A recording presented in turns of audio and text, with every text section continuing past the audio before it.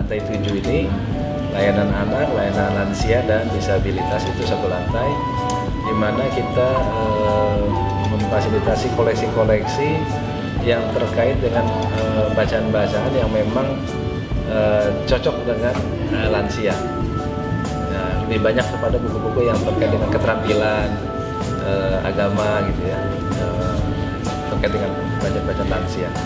Eh, kemudian juga kita menyiapkan buku-buku braille untuk eh, disabilitas tunanetra.